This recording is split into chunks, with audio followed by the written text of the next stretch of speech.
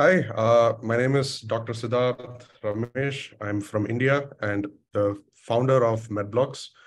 Um, just to give you a little background, uh, I studied in med school. I found that the software that we use was really bad and wanted to do something about it. Uh, that's where my journey into this began.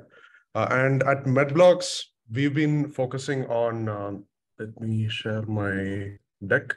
Um, so our goal, our primary goal is to build an ecosystem for plug and play healthcare applications. So it's my dream and our dream at MedBlocks to be able to just uh, install apps, just like how you would uh, an Android app or an iOS app, install apps on top of a clinical data repository and just have it work. So that's the goal that we are working towards. And the uh, we the work that we've been taking up and what we've been doing mostly for uh, US European markets, we've been building these apps on top of OpenEHR APIs, on top of uh, FHIR, Smart on FHIR APIs. And for developing nations like India, South Africa, um, Bangladesh, Japan, we, we've been deploying as well as developing apps. So we've been deploying the platform as well. And I think in our RFI, we mentioned extensively that we are huge fans of open source. We use open source, um, you know, clinical data repositories in order to run everything. So this is our expertise. So we are good at building apps. Uh, that's what we usually do for first world countries.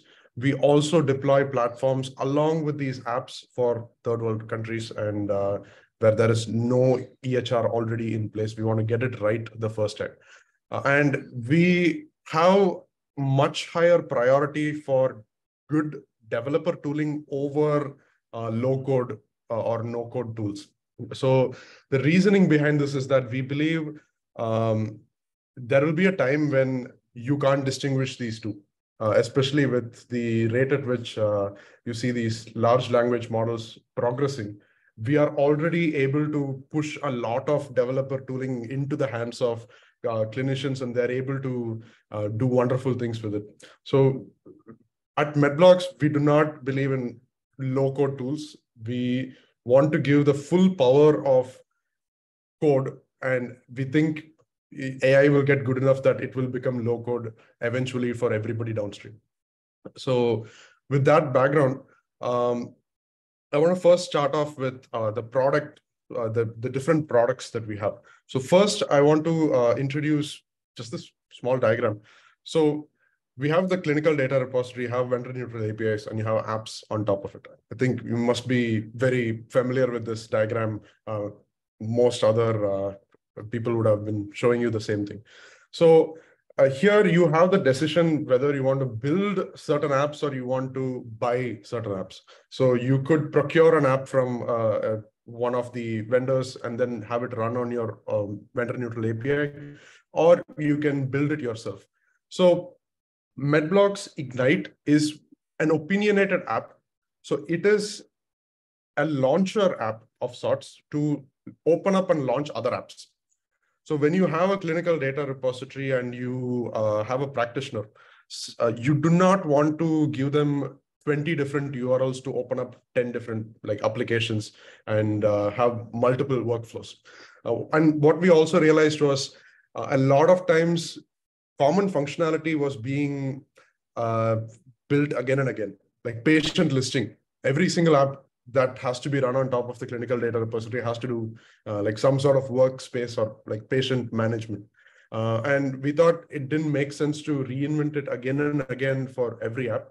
So Ignite is an opinionated uh, launcher, you can say. It's a launcher to launch other applications. Uh, and it works on top of uh, both a FHIR API and an OpenEHR API. So it you can you plug and play both. It requires both a FHIR as well as an OpenEHR API. We use FHIR primarily for uh, uh, demographics, patient management, so on, and OpenEHR primarily for clinical data.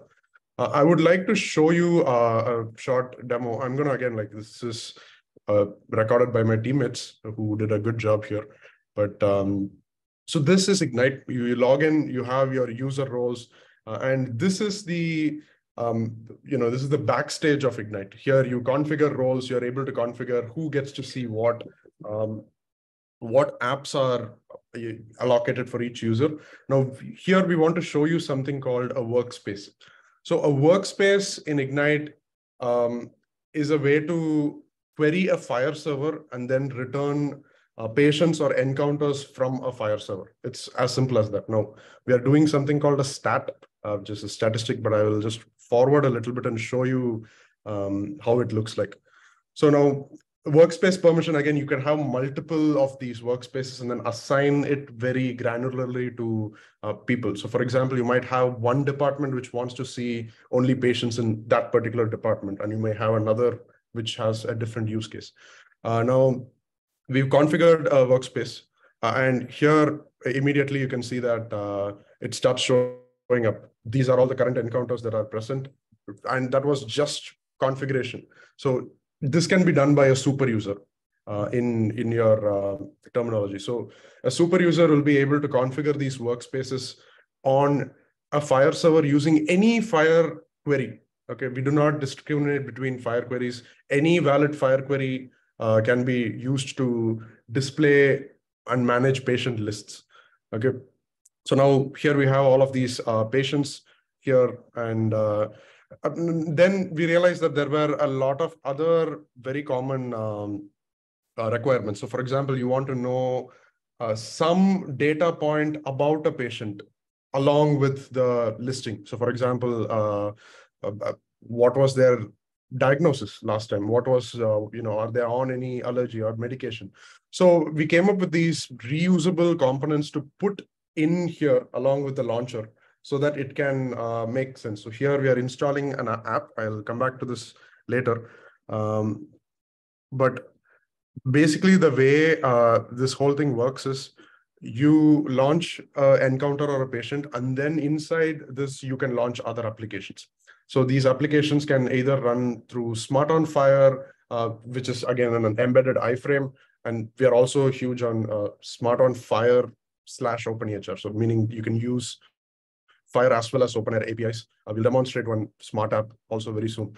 Um, but here you see, um, you know, this is, this is an app that was built using Medblocks UI. How this was built also we'll get into it. Uh, but let's say that uh, you want a particular tag. So what we call a tag is basically some data point from the clinical data repository that you want to represent for a patient. Uh, and this is also very specific to uh, users and user roles. So we do AQL here. We are, uh, you know, we are, we have a AQL template engine uh, that's handling all of this. So once you have this AQL, um, this AQL basically pulls data from the clinical data repository to show it alongside um, the patient listing. So let me go to that. So here, yeah. So we've configured uh, three virtual tags in this case. One is systolic uh, blood pressure, one is diastolic blood pressure, another is diagnosis. Uh, so we found this pattern to be very common. Uh, a patient list along with data points, uh, and you click on a patient and then you open up um, an app, right? So this Ignite itself is basically a launcher, uh, and it launches other apps but we've added these bells and whistles so that because it's very common for these use cases to pop up. Uh, now, I'm going to uh, fast forward a little bit more and then just quickly show uh, another feature, which is called widgets.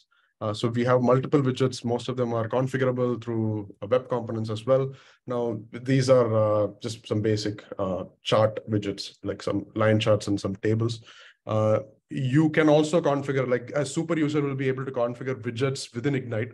So even before they launch an app, when they're in the patient view or when they're in an encounter view, uh, they're immediately able to, to chart out a few data points uh, without touching um, code, right? Because uh, all of this is just AQL and you're able to bring it into uh, the UI. So here we have uh, we have systolic BP and pulse rate. Uh, we have respiratory rate, but that's just like touching the surface of what is possible because all of these are web components. You can bring in whatever you want, and we can like that's another table right there. Uh, any AQL combine it with a UI component, you can have a widget based on that. Uh, so this is Ignite itself and uh, the you know the workspaces and so on.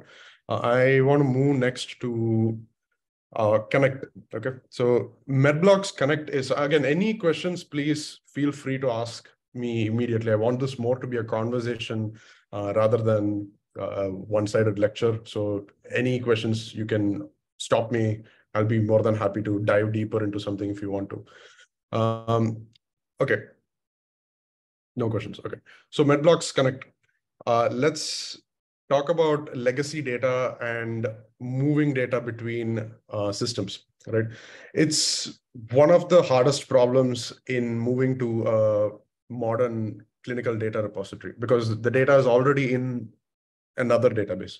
Uh, and you more likely than not, you want to um, continue using this system and also move data into your new system, right?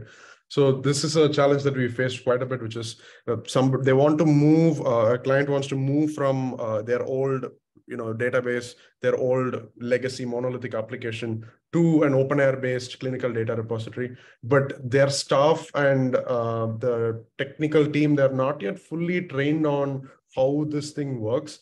So they still want to use the old database and the old um, applications. So uh, normal ETL pipelines that happen on a batch doesn't really cut it here.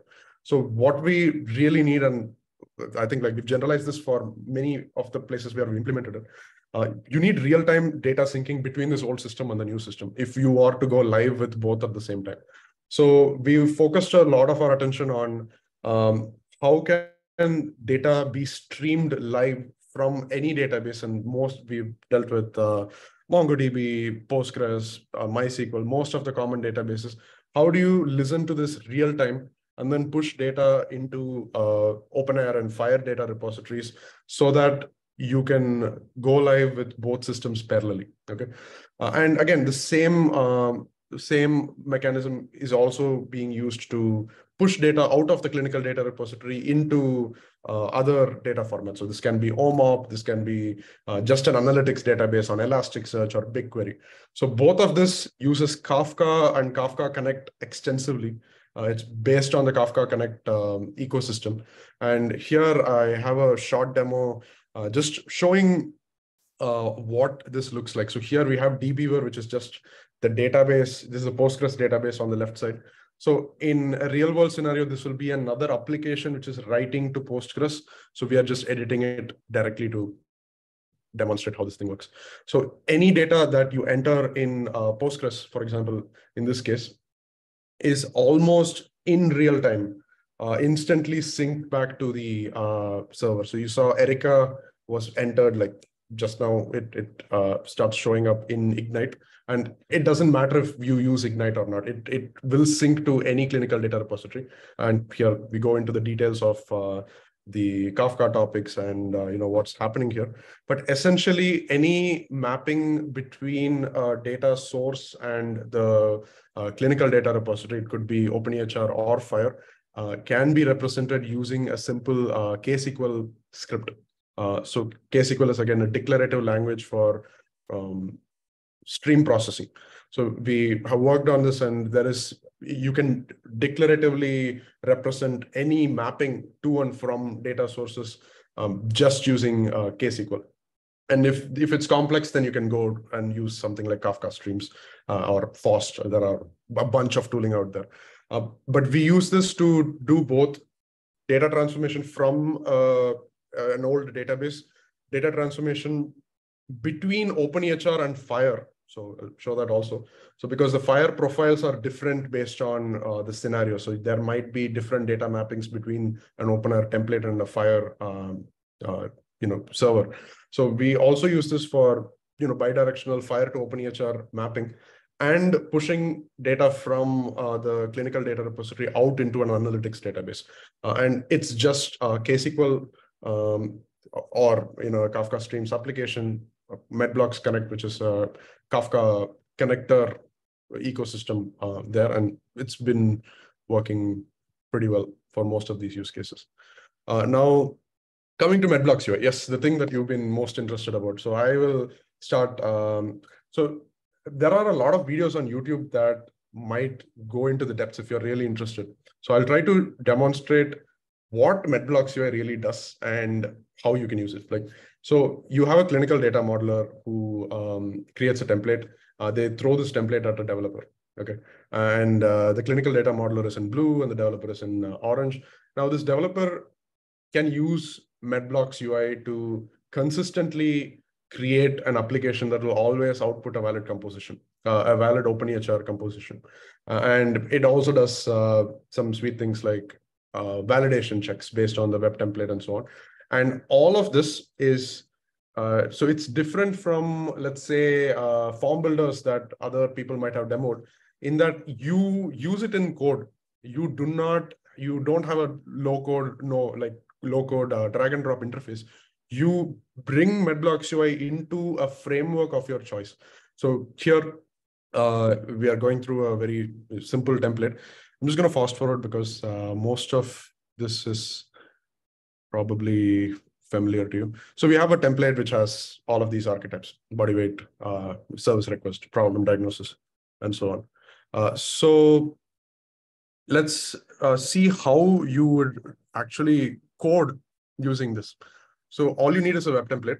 So we can export that from most archetype, uh, I mean, most template designers. Uh, you can also, uh, you know, most clinical data repositories also support the web template format these days. So you can also get it from the CDR directly. Uh, you install MedBlocks UI, and this is a this is a normal front end application that's using uh, Preact and Tailwind CSS, and we have a bunch of dependencies installed. So uh, we are installing MedBlocks UI. And after this, all you need to do is, um, again, I'm going to fast forward here a little bit. It's just installing MedBlocks UI. Um, you have an app like you would uh, in any other application. It's and here again we're using React uh, use effect to do a bunch of um, you know event handling. And once you have the base uh, outline of an application, so we've imported MedBlocks UI. We have all of this set up. Um, you also have the VS Code extension for MedBlocks UI. Okay, so that's that's where it becomes more of a, a form builder. Uh, so let's uh, this is just like example components. This is a template uh, for Preact, but uh, let's. I'm just gonna wait for the video to go forward a little bit. Yeah, so we are running the server here. And this is a very basic form uh, in which we've hard coded a bunch of uh, inputs. So we have an input, we have an input multiple, and we have a search. Okay, and all of this was just uh, coded by the developer, right? But then now we have this um, web template, right? So we download this web template and we put it in a folder in the same uh, repository.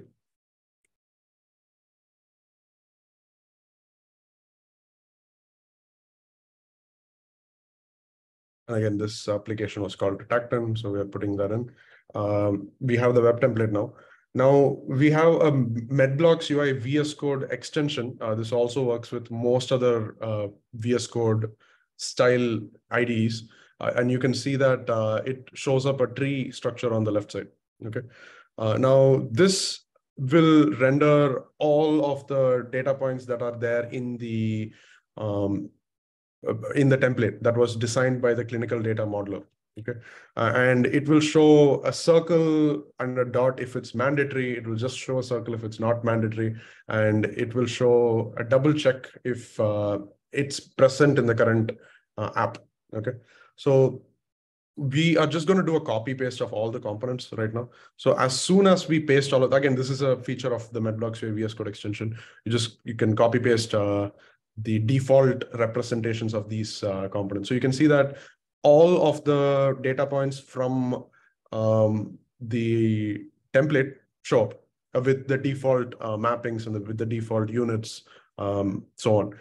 So this is the first step in building a, an application. We don't think that you can just copy paste and then uh, call it, it. You could, it will still work. Uh, you can still submit a form and it will capture data. Uh, but most of the times we found that clinical apps are more complex than we think, and uh, the clinician would like something uh, nicer than just a form that renders on your uh, face.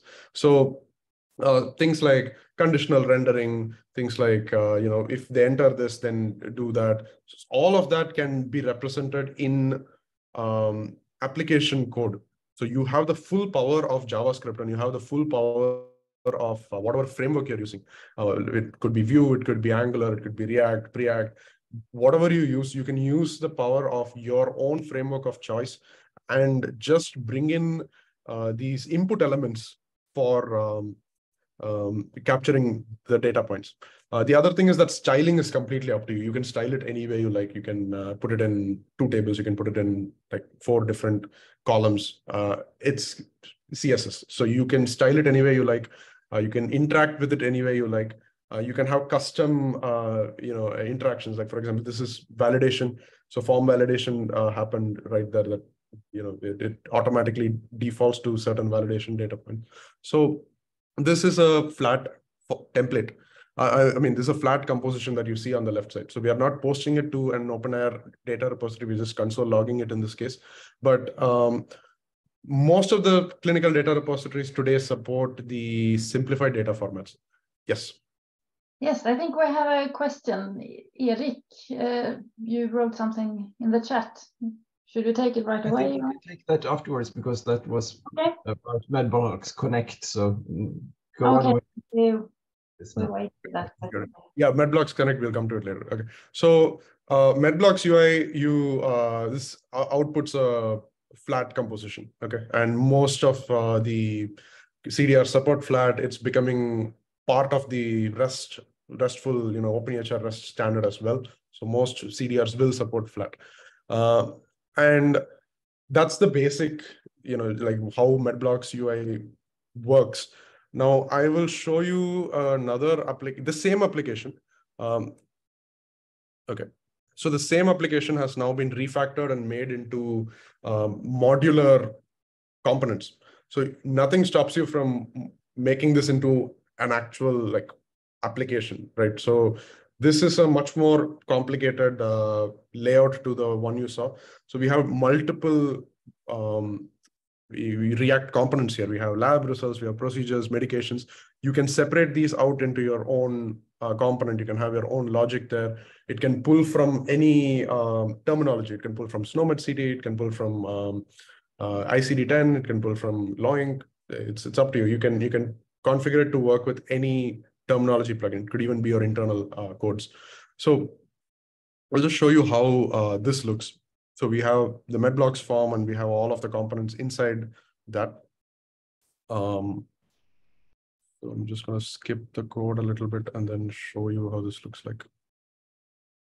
Yeah. So here you see that uh, we've gone in and done a lot more CSS, uh, a little bit more styling to put the weight and height in a single section, the vitals in a single section, lab results, and so on. Um, I want to see if there is a demo of the search feature. Let's see.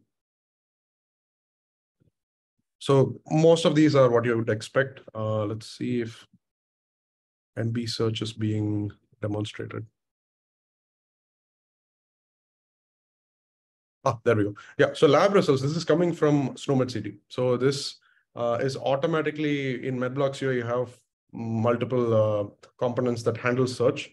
So this is coming from SNOMED CT. Uh, they, if you want to capture lab results with SNOMED CT, you can, uh, and you have you can have more fine-grained filters that the end user can select or deselect. Okay.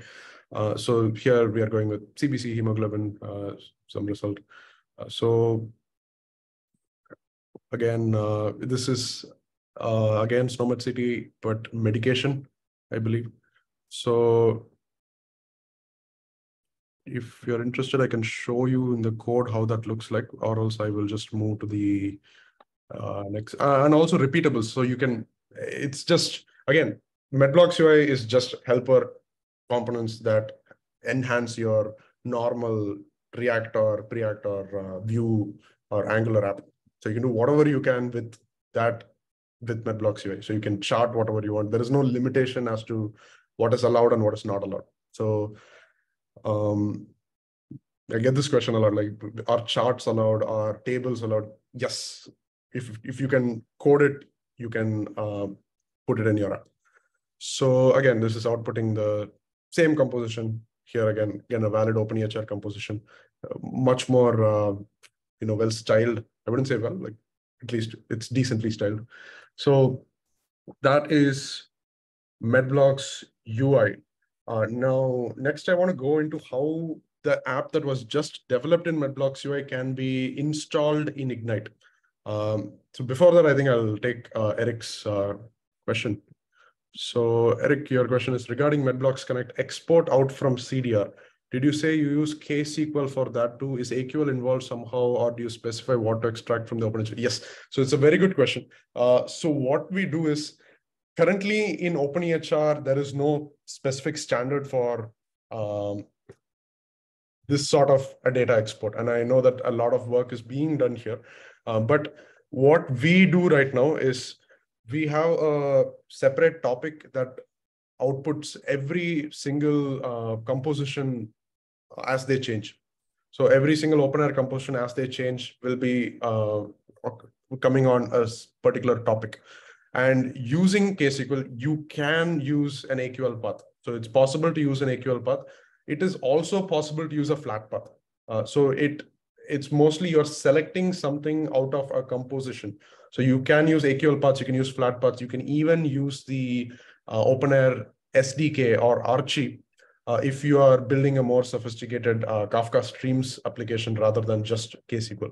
But in KSQL, there are uh, there is options for user-defined functions, and we have worked on a few user-defined functions that can um, extract, for example, given an AQL path, extract that data point or all the data points from a particular composition. So, so you set something up in listening to that Kafka topic that then uses those functions. Okay, thanks. Yes. Yes. So any other questions on MedBlocks UI? Uh, yes, in MedBlocks UI, is it possible to display and or edit, create a new version of a document? Which yes, absolutely, we do this all the time.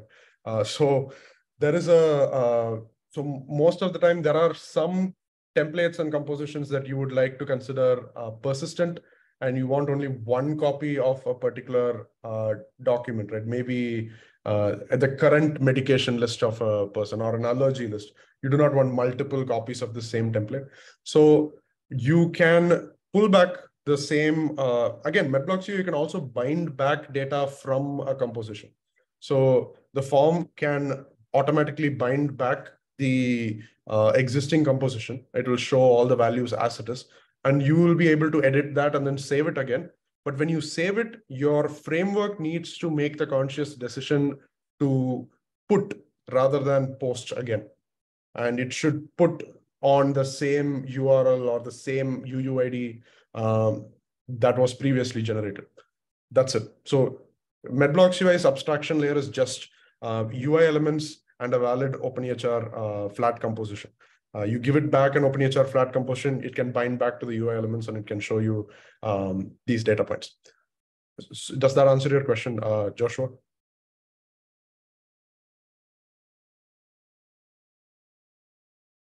All right. Uh, any other questions for MedBlocks UI, uh, the front end?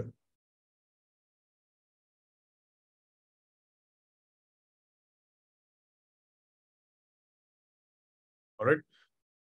Uh, there is, uh, I think you've talked about it in, in other contexts. Uh, sometimes you want to bring up a, a, composition that you might not have a form for that comes from somewhere else, uh, just displaying. Uh, I think you said that you were working on something like that. What does the time plan for that look like? Right, right, right. So a generic form renderer or a generic, you know, composition generic renderer. Composition renderer, yeah. Yes. Uh, we are still working on it, but we are we, we are seeing more and more that uh, large language models like ChatGPT are able to display them much better than uh, tooling that we are using. So we are working on it, but parallelly, we are also exploring other ways of representing a composition as natural text. Uh, what is present in this composition? What are all uh, you know the elements there? So the timeline we would not like to, you know, promise anything, uh, but would probably be around one to two months. We might have a generic uh, composition renderer uh, as, as part of uh, MedBlocks UI. Thanks.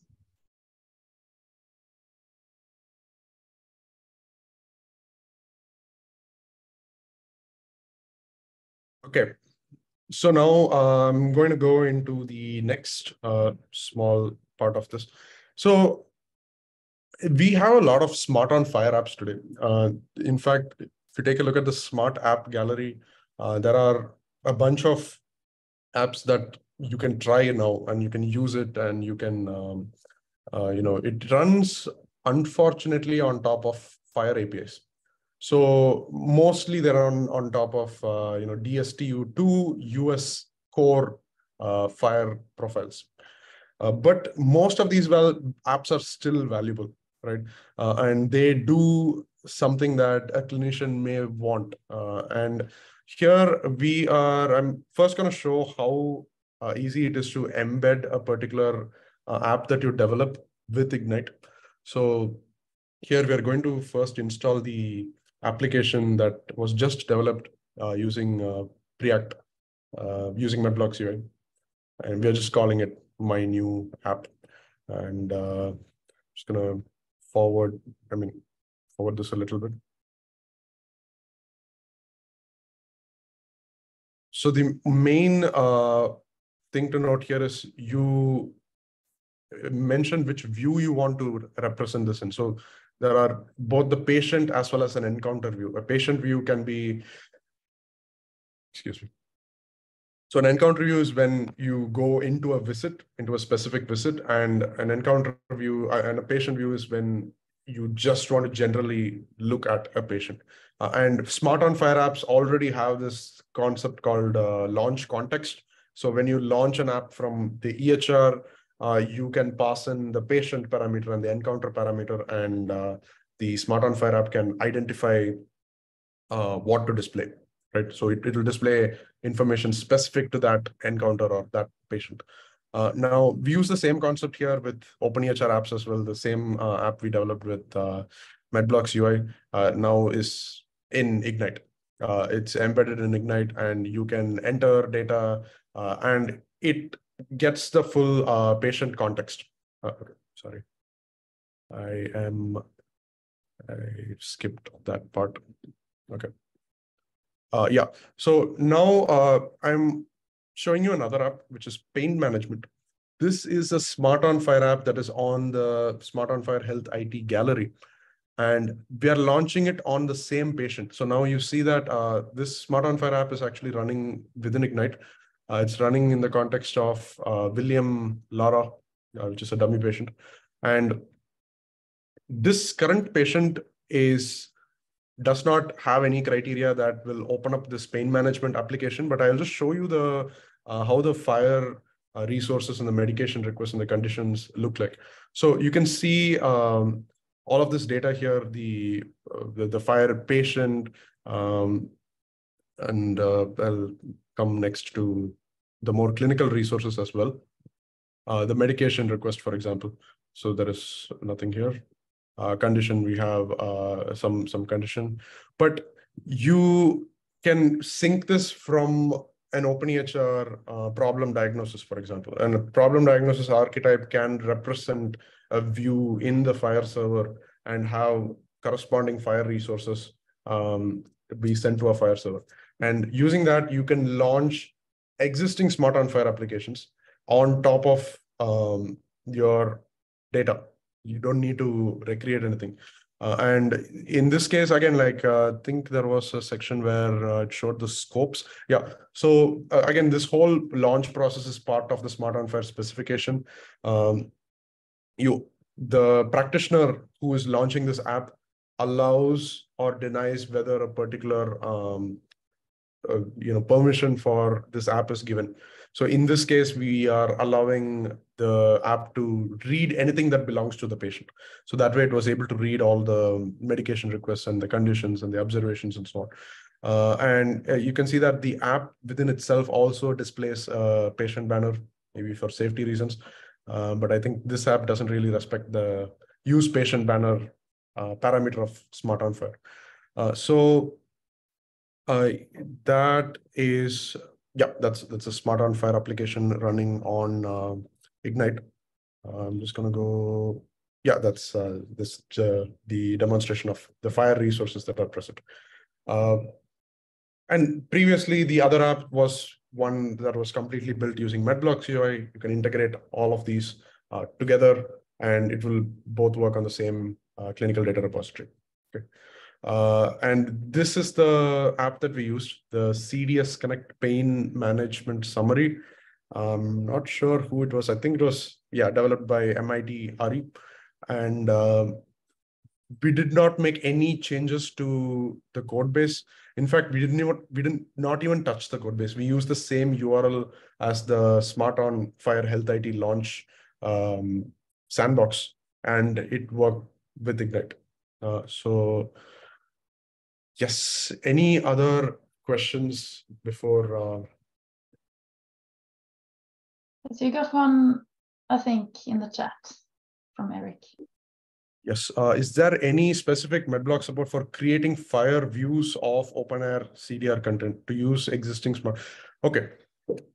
So Ignite supports launching smart on FHIR applications out of the box but the mapping of openEHR templates and archetypes into the clinical uh, into clinical FHIR resources still has to be done uh, using a bunch of uh, you know KSQL, Medblocks Connect, or some sort of an integration script that's running. Um, the reason is because some smart on FHIR apps rely on US core, for example, US uh, core FHIR profiles, but some don't. Some uh, use the local regional FHIR profiles. They may expect data in a certain format.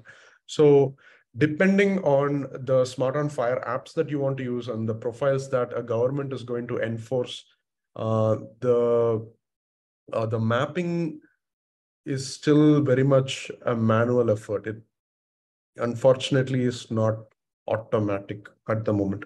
Uh, for creating FHIR views, is, is that what you're asking, Eric? Yes. Uh, so it was just like you had some help in making UI things uh, to make it easier for. I understand that you need to have a manual uh, uh hack to get it doing, but is there something to support to make that manual hacking easier? Got it, got it, got it. Yeah, we just uh, throw a lot of KSQL at it until it it works. Yeah. I think we had, we had a pre-collected question also. Should we take that one before we stop recording? Yeah, yeah, uh, sure. Um, and it's from, I think it's from Region Skåne. Uh, so I just read out aloud and, and someone from Skåne will ha have to ha help me out. Uh, it's about API security policy decision engine that is mentioned in the RFI have you yeah. done pre-configured policies for the different APIs? And do you classify the APIs? Uh, that is security classification. Got it. Got it. Okay. So we, yeah, I didn't demo that at all in this RFI, but um, so we use uh, Open Policy Agent and we do have a bunch of uh, predefined policies. So these can be uh, policies like um, you know you only allow a certain template for specific users. They're only able to view or uh, edit or write certain templates to the openEHR cdr but we do all of this at the level of http rest. Uh, we have nothing specific in the clinical data repository itself that we use. It's happening one level above that. So uh, the API classification, I probably need a little bit more clarification on what you mean there. But um, the policies, we have a bunch of default policies, but most of these can be customized depending on your requirements. Uh, so if maybe you're not very big on uh, template-based role control, uh, and you instead want, um, I don't know, like time-based role control, like you can only have people open up a specific data point when the patient is at their office. That's still very much possible using the same, you know, REST-based API uh, control on top of the CDR. So this will work even if you use another CDR. You don't need to use, uh, for example, we go with our default is EHRbase, uh, the open source uh, version, but you can go with uh, DIPS, you can go with Better, you can go with any CDR, and you'll still be able to use the policy engine on top uh, because it re relies only on HTTP REST.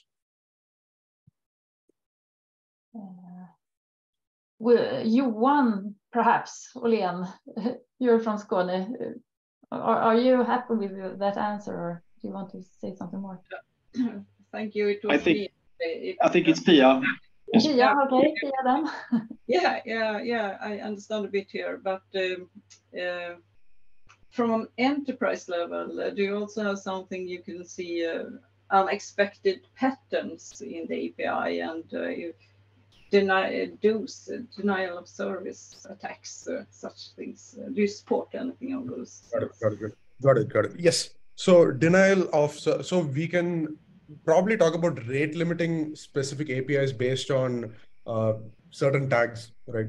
So you have options to, for example, uh, you know, you can tag the geo IP of the HTTP request coming in, and you will be able to rate limit in case uh, so many, I mean, like multiple requests come from a specific person. But I would still, uh, if you have something like a DDoS attack, which is like coming from multiple IPs across the world, uh, you probably have to use something like uh, Cloudflare or uh, you know another firewall in front of this authorization uh, mechanism.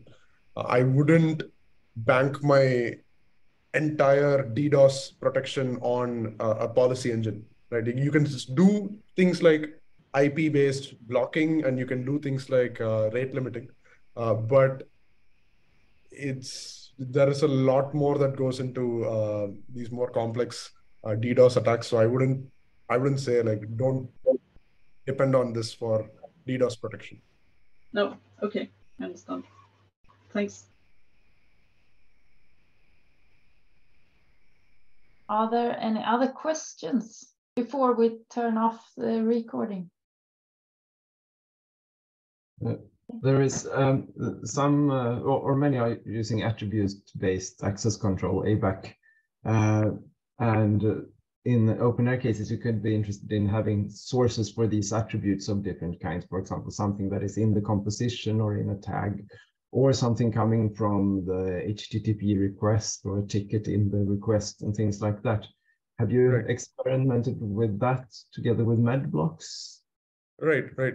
So, so we, uh, you have the option to, when I talk about HTTP REST-based authorization, you also have the option to look at the request body and the response.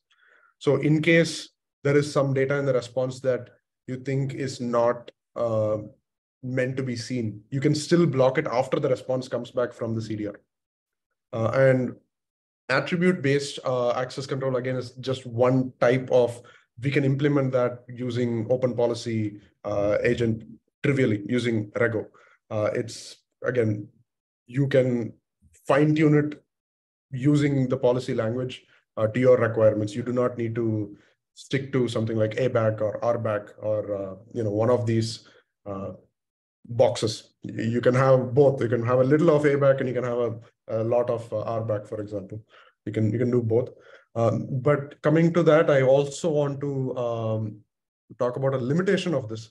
So since we do not do uh, at the CDR level, we do not have much control. And most of the times we are not deploying our own CDRs. We are deploying either open source uh, EHRbase or we are deploying somebody else's CDR underneath. Um, the there can be instances where you want to redact or limit the response being sent. Uh, for example, if somebody is doing AQL, you only want the AQL results uh, of what they have access to. That is currently not possible with this approach. You can, it's it's a yes or no kind of a gateway. You either have access or you don't. You can't modify the uh, response in a significant way. But but if we, for example, would uh, hire the, the MedBlocks team to work with EHRbase, could uh, things like these be configured then? Oh yeah, de definitely, definitely. I think EHRbase already has plugins for doing this, but we also want to keep in mind that EHRbase may not be the default CDR of choice. Uh, yeah. There may be something else that needs to also support uh, this. Yeah, but, but it's interesting to know if you have experience of uh, experimenting with these things or running them. So thanks right. for the